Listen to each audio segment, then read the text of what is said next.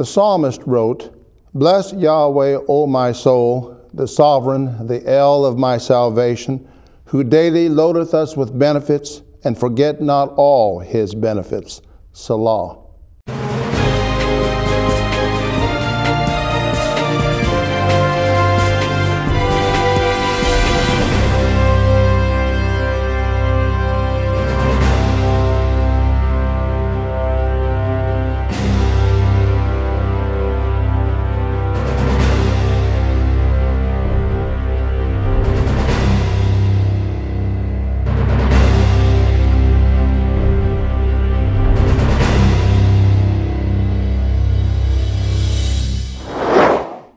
Greetings in the holy and reverend name of Yahshua our Messiah, and welcome to another program of Revealing the Truth.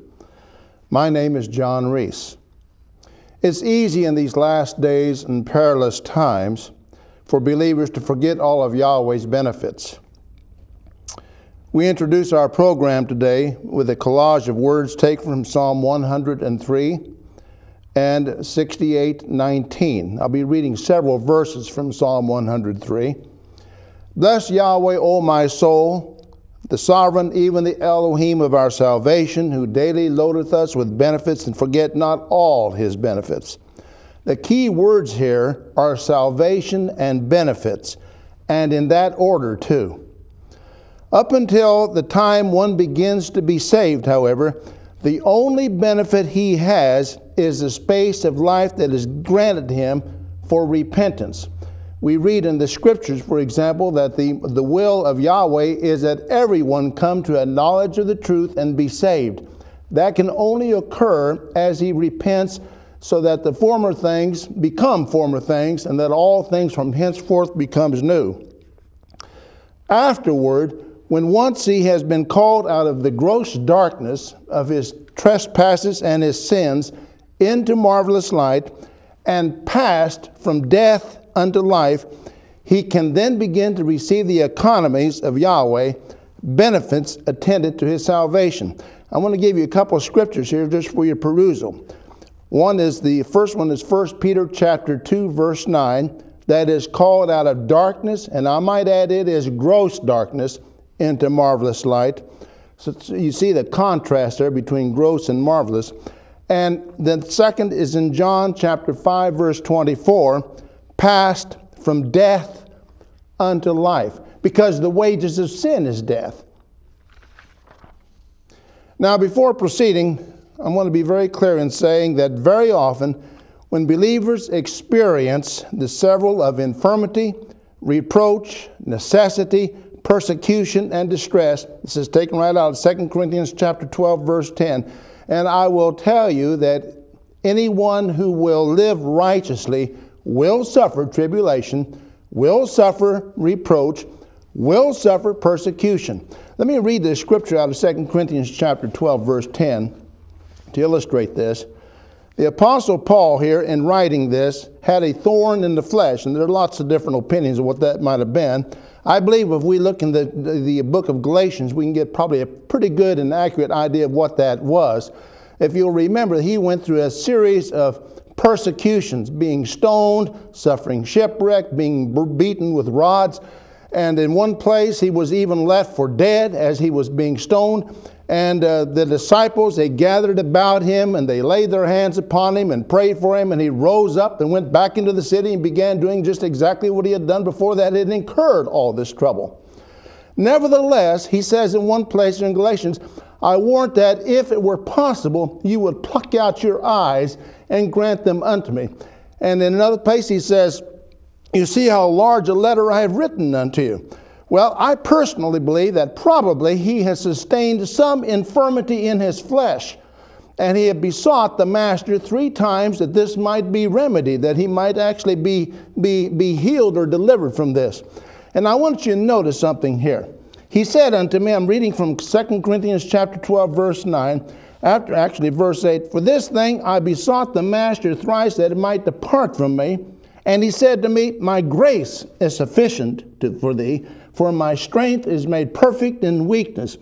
And his reply was, Most gladly, therefore, will I rather glory in my infirmities, that the power of the Messiah may rest upon me. Therefore, I take pleasure in infirmities, in reproaches, in necessities, in persecutions, in distresses for Messiah's sake. For when I am weak, then am I strong. And that is the attitude, incidentally, that believers must have. Now, I will tell you, these don't seem to be very much of a benefit to us, but it's the kind of thing that will make us because we have to endure hardness as good soldiers of Messiah. And this is the way this is actually occurs. So until one is renewed in the spirit of his mind, he won't much think that reproof and correction, rebuke and chastening constitute very much of benefits, as well as all these other uh, increments infirmity, reproach, necessity, and persecution and distress. And I'm getting my scriptures here from 2 Timothy chapter 3, verse 16, with respect to reproof, correction, rebuke, and chastening in Hebrews chapter 12, verse 5. Nobody likes to be corrected. In fact, we have a propensity to correct. Nobody likes to be rebuked. We have an inclination to rebuke. But we find that these things are all necessary simply because of our sinful nature. So without these purging elements, I'll go through them again reproof, correction, rebuke, chastening, infirmity, reproach, necessity, persecution, and distress, none will receive of the heavenly gift and experience the powers of the world to come. Comes out of Hebrews chapter 6, verses 4 and 5. And I don't want you to misunderstand me. These things are not joyous when you're going through them, they're rather grievous. It's just like a child.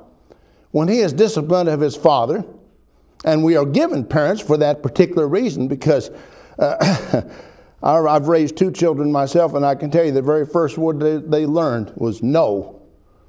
And they've heard no a lot of times throughout their, their rearing. And at times I would have to discipline them in love, not being abusive at all, but in love, because I acknowledged that there was an end to rebuke, and there was an end to chastening, and there was an end to scourging. In fact, the scripture says in Hebrews chapter 12 that if a person be without these elements, that he is none of his. It's a sign that we have that we are sealed by that Ruach of promise, that Holy Spirit promise. If we have endured chastening, then we are sons. So, and the, and the, the, the, the outcome should be that we yield the peaceable fruit of righteousness. You can surely tell today, in the day in which we live, in these last days and perilous times, those who have experienced discipline and chastening when they're in their formative years and those that have been neglected.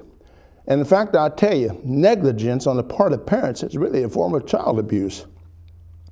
In fact, reproof, correction, rebuke, and chastening are so important in the economies of Yahweh, who is an Elohim of process and order, that they will always precede instruction in righteousness and exhortation. We cannot put on this mantle of salvation, which is the benefit that we have of Him, until we have gotten rid of all those things that are contrary to walking in righteousness. So, at the head of these benefits are some attributes ascribed to Yahweh and found in Exodus chapter 34, verses 6 through 7. Yahweh, Yahweh, Elohim, merciful and gracious, and indeed He is, long suffering and abundant in goodness and truth, keeping mercy for thousands, forgiving iniquity and transgression and sin, and that by no means clearing the guilty visiting the iniquity of the fathers upon the children and upon the children's children unto the third and to the fourth generation. Now, I want to make a couple comments before proceeding any further. By no means clearing the guilty. You will not do, you will not be able to make a bargain, a plea bargain with Yahweh. Whatsoever a man sows to his flesh of corruption, he's going to reap the same. You will recall that in Matthew chapter 7, verse 21, Joshua declared, Not everyone that saith, Master, Master, shall enter into the kingdom of heaven. It is he that doeth the will of my Father. Secondly, visiting the iniquity of the fathers upon the children, and upon the children's children unto the third and to the fourth generation. One might think then that after the third and the fourth generation have passed, that should be the end of Yahweh visiting the iniquity of the fathers upon the children and the children's children. But seeing there dwelleth no good thing in the flesh. Now, that's what Paul observed in Romans chapter 7. In fact, let me just turn there for a moment. Romans chapter 7, and this particular verse is in 18. We're going to just see just exactly what is in the base nature of man. He says here, beginning with verse 14 of chapter 7, we know that the law is spiritual, but I am carnal sold under sin. For that which I do, I allow not. For what I would do, that I do not. But what I hate, that's what I do. If then I do that which I would not, I consent unto the law that it is good. Another place in Romans says it is also good, holy, and just. A lot of people think that the law has been done away with. It's not what Paul concluded. The commandment, the law, is good, holy, and just. For I know that in me, that is in my flesh, dwelleth no good thing. For to will to do good is present, but how to perform that which I would do, I find not. For the good that I would, I do not. And the evil which I would not, that's what I do. Now, if I do that, I would not. It is no more I that do it, but it is sin that dwelleth in me. And that's what has to be purged. You can't continue in sin willfully and expect that His grace is going to be con- uh, continue to be abundant toward you. It doesn't work that way. Nevertheless, what saith the Scriptures? Oh, let me just go on. I'm going to speak a little bit more about this, about the third and fourth generation, because I gave that some thought, and I something occurred to me the other day. The reason why it doesn't end with the third and fourth generation is simply because the third and the fourth, the first, second, third, and fourth generation, they have a way of increasing, abounding their own iniquity. That is again transferred from one generation to another, so that lawlessness becomes not only perpetuated, but it abounds and waxes worse and worse with nothing restrained, either the imagination or the invention of evil. So that's the reason why you have what you have today. Nevertheless, what says the scripture? If we confess our sins, he is faithful and just to forgive us our sins and to cleanse us from all unrighteousness. That is to say, to remove even the, the guilt that is attendant to that sin. That's, that's one of the benefits that we have. Not just only forgiveness, but to take away that guilt that is attendant unto that sin. So let's continue looking at some of these daily benefits that he loads upon us. And I'm going to Psalm 103. And I'm going to be reading several verses here from chapter 3, uh, from Psalm 103, verse 3 to verse 14. And I'm saying all this for the benefit of our video technician. Because he does post the scriptures as we read them, and perhaps it'll be easier for him. Psalm 103, verse 3. He forgives all our iniquities, all our lawlessnesses. He heals all our diseases. In Isaiah chapter 3, verse 5, I'll go through this very quickly. There are four things, we call them the benefits of the cross or the benefits of the stake. He was wounded for our transgressions, he was bruised for our iniquities, the chastisement of our peace was upon him, and with his stripes we are healed.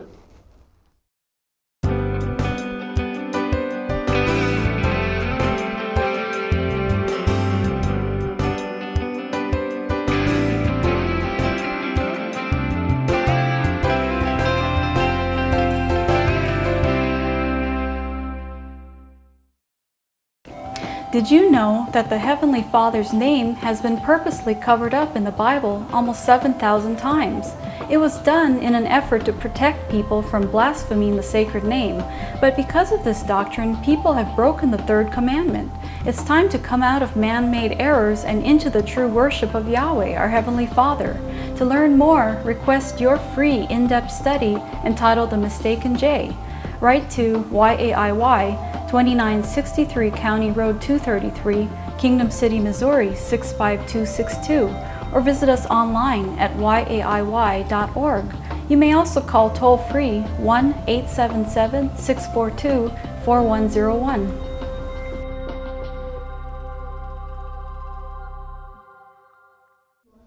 Let me just review our opening of scripture. Bless Yahweh, O my soul, the sovereign, even the El of our salvation, who daily loadeth us with benefits, and forget not all his benefits. I had begun speaking, or I ended the last of the last few minutes in Isaiah chapter 3, 53, verse 5. And I told you these were the benefits. We call them the benefits of the cross or the benefits of the stake. It's really a summary of the purpose for which he died. I'm talking about Yeshua HaMashiach, the Messiah.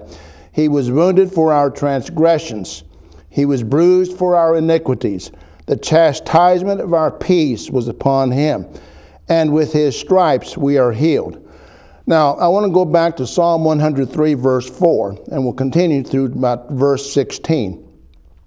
He redeemeth your life from destruction who crowns you with loving kindness and tender mercies. Psalm 103, verse 5. Who satisfies your mouth with good. He causes the herb to grow for the service of man, that he may bring forth food out of the earth, and bread which strengtheneth man's heart. I, I tell you, we have such a, we have such wonderful benefits. Psalm 103, verse 10. He hath not dealt with us after our sins, nor rewarded us according to our iniquities. One of the things that I so much appreciate about the Word of Yahweh is that He confirms His Word with His Word.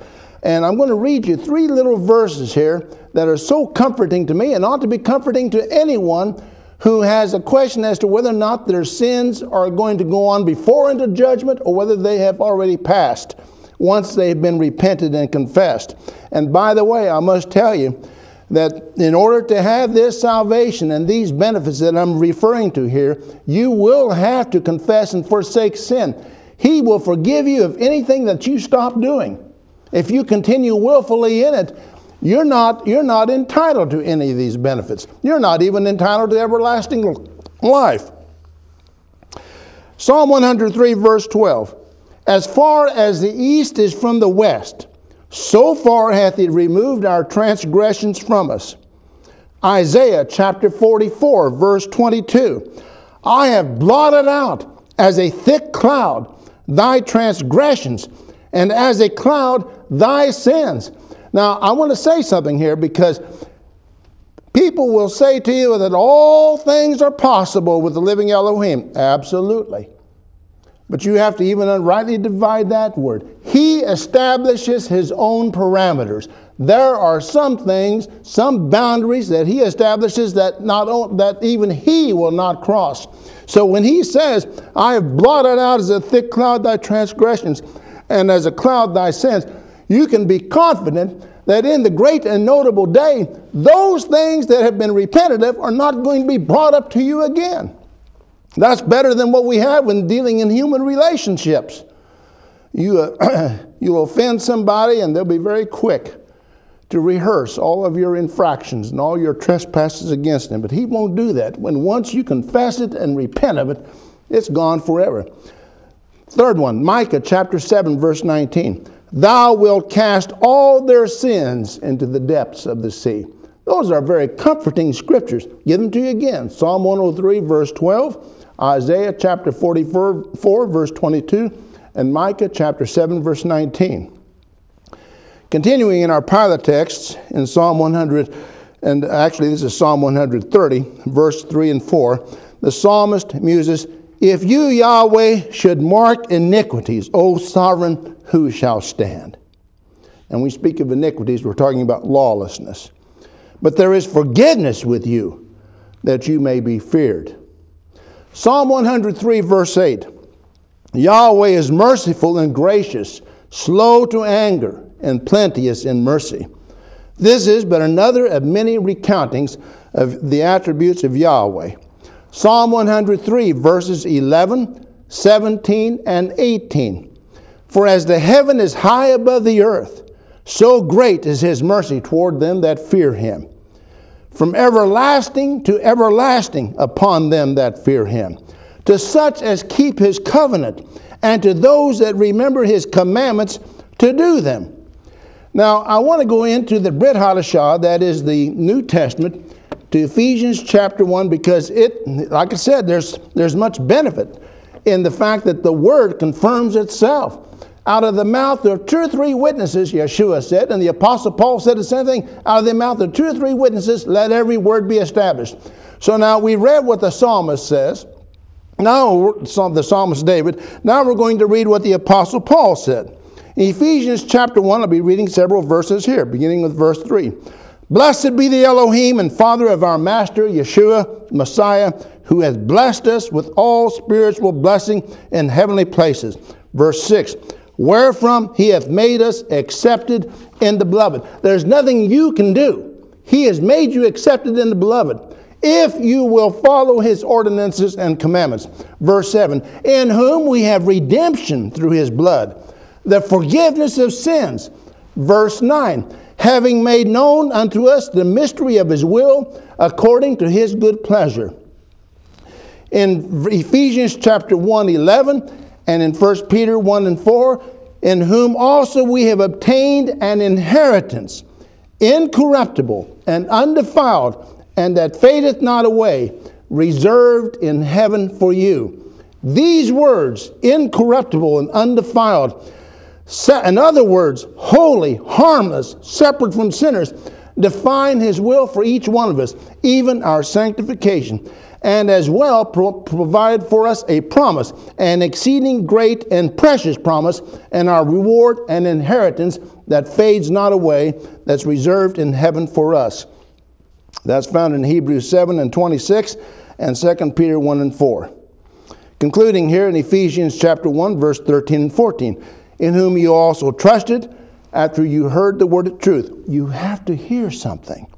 The gospel or the good news of your salvation, in whom also after that you believed, you were sealed with that spirit of promise. Now, I will tell you that lastly, there isn't any of us here who could or would on our own trust, hear, or believe without an intermediary. And my mind goes back to Acts chapter 8 about a certain Ethiopian eunuch who was returning from Jerusalem after observing one of the festivals, and he was sitting there in his chariot and he was reading from Isaiah. And he was reading a narrative there that he could not understand. And Yahweh, because he can see the end from the beginning of a matter, he dispatches the deacon, who also was an evangelist, Philip by name, to this Ethiopian eunuch, and he just asked him a simple question Do you understand what you read? And his reply is a remarkable reply. He says, How can I, except some man should guide me? And so what we, what we find here is he began to begin at the same scripture and preached unto him Yeshua. We find other instances of, of, of uh, people receiving. What about in Acts chapter 10? By Cornelius dispatching three men unto Joppa to find Simon Peter. He had been a man well favored of Yahweh because of giving alms and praying always and fasting. And, and, and Yahweh took note of that. But he didn't understand and did not have a knowledge of this saving grace. So he sent, he dispatched three men to Joppa for the purpose of getting the apostle Peter. And the Peter, the apostle just began to speak to him the words of life to him. And he didn't kick against the pricks. He was he had fasted, he had been fasting for a period of time. He was ready to receive and was instant to receive uh, the word that he had spoken to him. So we find that the preacher is very, very important. The preacher is extremely important because that is one of the benefits that Yahweh has given to his assembly. He manifests his word through preaching, it says in Titus 1 and 3. But how then shall they hear without a preacher? And how shall they preach except they be sent? We find that in Romans chapter 10, verses 14 through 15. Faith comes by hearing, it won't come any other way. Faith comes by hearing, and hearing by the word of Yahweh. So we come to the very last benefit that we find in Ephesians chapter 4. And I'd like to use this uh, scripture out of Psalm 68 18 to introduce this. Because it's interesting that the Apostle Paul would even make reference to this particular scripture. In 68 18 of Psalms, Thou hast ascended on high, Thou hast led captive, Thou hast led captivity captive, Thou hast received gifts for men. And then in Ephesians chapter 4, we begin reading in verse 8 Wherefore he saith, When he ascended up on high, he led captivity captive and gave gifts unto men. Now he that ascended, what is it but that he also descended first into the lower parts of the earth? He that descended, that we're talking about Yeshua here, is also the same that ascended up far above all heavens that he might fill all things. And once he was there, he bequeathed to his assembly certain gifts. He gave some apostles, and some prophets, and some evangelists, and some pastors, and some teachers. Now, there's a reason why he gave these gifts. Some people call it the fivefold ascension gift ministry, whatever you want to call it. He gave gifts unto men for a particular reason for the perfecting of the saints, for the work of the ministry, for the edifying of the body of Messiah. And it's an interesting thing that when you exegete these last few words, for the edifying of the body of Messiah, the, uh, from the Greek it would read, for the edifying of the whole of the anointed one.